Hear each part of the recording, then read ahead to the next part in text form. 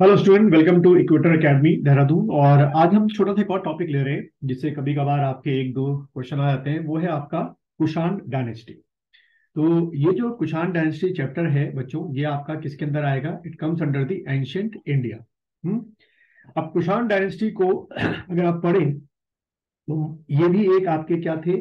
विदेशी थे फॉरनर थे, जो भारत में आए और कई सालों तक यहाँ पर रहे।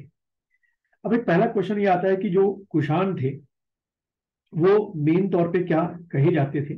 कहाँ से आए थे? तो जो कुशान डायनेस्टी के लोग थे शुरू में, ये आपके एक यूची ट्राइब थी, ठीक है? यूची यूची ट्राइब जो कि उस समय के तिब्बत सो कॉल्ड चाइना में पाई जाती थी और वहाँ से माइग्रेट करते करते ये लोग जो है, इधर की तरफ़ आए।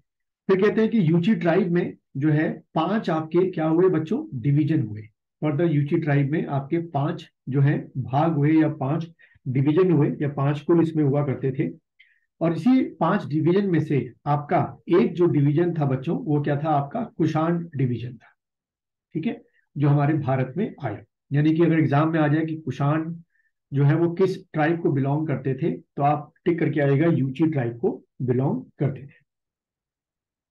अब बात करें कि ये जो कुशान डायनेस्टी का जो क्षेत्रफल था, यानी कि जो एरिया था, कहाँ कहाँ तक इन्होंने ऑक्यूपाइड कर रखा था तो आप ये मान के चलेंगे कि इनका जो एरिया था गंगा, यानी गैंजेटिक प्लेन था आपका, पूरा मध पूरा मध्य एशिया तक भी इनका माना जाता था कि जो अप्रोच था, रहा था। लेकिन हमारे यहाँ खासतौर पे पूरा उत्तर भारत जो है, कुछ समय तक के लिए इनके पास आ गया था। अब इंसुलेटेड क्वेश्चन क्या बनते हैं? सबसे पहले एक क्वेश्चन ये बनता है कि इनके जो किंग्स के नेम है, वो आपको थोड़े से याद करने पड़ते हैं। तो जैसे पहला नाम जो है, वो आपका है कुजल कट फिशस ठीक है? उज्जल कट फिशस दूसरा नाम एक आपको मिलेगा विम कट फिशस विम कड सॉरी विम कट फिशस तीसरा नाम आपको मिलेगा, कनिष्क. यही वो नाम है जो सबसे ज़्यादा आपने पढ़ना भी है और सबसे ज़्यादा क्वेश्चन भी कनिष्का से ही आते हैं। उसके बाद भूविष्का। भूविष्का, ठीक है, उसके बाद कनिष्क सेकंड उसके बाद वासुदेव फ़र्स्ट कनिष्क थर्ड और वासुदेव सेकेंड। ठीक? तो ये कुछ नाम है जो बड़े इंपॉर्टेंट इसमें कनिष्क जो है, जिसके बारे में सबसे ज़्यादा क्वेश्चन आते हैं, यानी कि इसी कुशान डायनेस्टी में जो सबसे ज़्यादा क्वेश्चन बनते हैं एग्ज़ाम में, वो आपके कनिष्का से बनते हैं, जिसका टेन्योर जो है वो 78 एडी से शुरू करते हुए 105 एडी तक माना जाता है। और इसी रिलेटेड सारे, बहुत सारे क्वेश्चन जो होते हैं, वो आपके एग्ज़ाम के लिए इंपॉर्टेंट माने जाते हैं। अब हम कुछ ओवरऑल की बात करें कि कनिष्का से क्या क्या ऐसी चीज़ें हैं जो आपके एग्ज़ाम में अक्सर आती रहती हैं। सबसे पहला है ये कि कनिष्क वो किंग थे जिन्होंने बहुत ही लार्ज क्वांटिटी में क्या इशू किए थे? आपके गोल्ड कॉइन्स इशू किए थे। गोल्ड कॉइन्स तो ये क्वेश्चन कई बार पूछा जाता है कि वो कौन सी डायनेस्टी के लोग थे जिन्होंने भारत में बहुत बड़ी तादाद में, बहुत बड़ी संख्या में गोल्ड कॉइन इशू किए थे? तो आप टिक करके आइएगा कुशाण डायनेस्टी के लोगों ने उसके बाद कहते हैं कि इनके जो गोल्ड कॉइन्स थे, वो गुप्ता डायनेस्टी के गोल्ड कॉइन से बहुत ही क्वालिटी में अच्छे थे, ठीक है? More qualitative than the Gupta dynasty ये भी आपको पॉइंट याद में रखना है। देन कुशान डायनेस्टी ने बहुत सारे क्या इशू किए थे आपके? कॉपर कॉइन्स भी इशू किए थे। ये भी एग्ज़ाम में पूछ सकते हैं, ठीक है? तो गोल्ड कॉइन भी बहुत अच्छी क्वालिटी के बहुत बड़ी मात्रा में इशू किए गए। और गुप्ता डायनेस्टी ज़्यादा आपके कह सकते हो कि सुपर सुपीरियर क्वालिटी के गोल्ड कॉइन्स थे। ऐसे आपके जो कॉपर कॉइन्स है, वो भी आपके इन्होंने इशू किए। बहुत बड़ी संख्या में आपके इन्होंने इशू किए थे। ठीक? उसके बाद जो आपकी यूपी में एक जगह है, मथुरा। ये मथुरा कहते हैं कि इनमें कई मथुरा की जगह, मथुरा जगह में बहुत सारे आपके हमें कुशान से रिलेटेड क्या मिले एविडेंस मिले जैसे कि मथुरा में है, मथुरा में हमें कुशान कॉइन्स मिले हैं। मथुरा में ही हमें कुशान से रिलेटेड स्क्रिप्ट मिली है आइडियल्स मूर्तियाँ मिली है स्ट्रक्चर्स मिले हैं। तो मथुरा आप कह सकते हो कि एक सेंटर रहा होगा उस समय, या जब एक्सक्वेशन किया गया होगा तो सबसे ज़्यादा हमें अगर कहीं से सेंटर ऑफ़ मिले तो कुशान के मथुरा से ही मिले हैं। और इसीलिए मथुरा जो थी, वो भारत के अंदर, आज के भारत के अंदर कुशानों की सेकेंड कैपिटल हुआ करती थी। तो मथुरा क्या थी आपकी? सेकेंड कैपिटल थी कुशान किंग्स की। ध्यान रखना पॉइंट आ सकता है एग्ज़ाम में सेकेंड कैपिटल इसकी कुशान किंग की। अब फिर क्वेश्चन ये बनता है कि कुषाणों की जो फ़र्स्ट कैपिटल थी, ठीक है?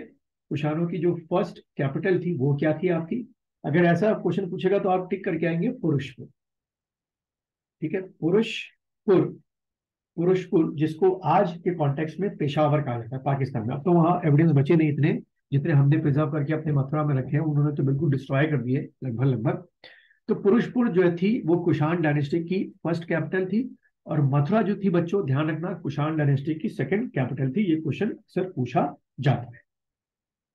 अब बात करें कि कुषाणों में सबसे पहले किसने महाराजा धीराज का टाइटल अडॉप्ट किया? महा राजा धीराज। अगर ऐसा कुछ क्वेश्चन आता है कि तो who was the first king in Kushan dynasty who adopted the title of Maharaja Dhiraj तो आप टिक करके आना कुजल कटफिशस ठीक है? कुजल, या जी ये भी कर सकते हो, Kujula Kadphises adopted the title of Maharaja. और ये कुजल कट फिशर्स ने क्या इशू किए थे? सिर्फ़ और सिर्फ़ आपके इसमें बहुत सारे जो कॉपर कॉइन्स थे, वो आपके इशू किए थे। इससे पहले एक में किसी ने इतने कॉइन्स इशू नहीं किए थे। उसके बाद इसके जो दूसरा आपका किंग था विम कट फिशर्स अगर हम उसकी कुछ बात करें विम कट फिशर्स ठीक है? ये जो विम कट फिशर्स था, इसका टेन्योर भी देख लो बच्चों साथ साथ में 68 सॉरी 65 एडी से लेकर 78 एडी तक। नाउ ये जो विम कट फिशर्स था, इसने क्या क्या अगर हम बात करें तो इसने सबसे पहला गोल्ड कॉइन्स प्लस आपके जो कॉपर कॉइन्स थे, वो दोनों इसने इशू किए ठीक है? तो ध्यान रखना गोल्ड कॉइन और कॉपर कॉइन दोनों इसने इशू किए।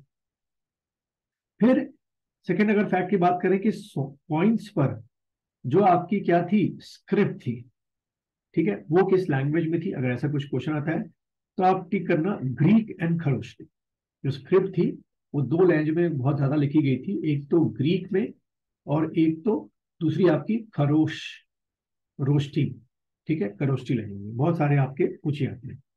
और एक आखिरी पॉइंट इसके लिख लो विम कन्फ्यूजर्स के बारे में पूछा आता है। He adopted the title of Maheshwar ठीक है? Adopted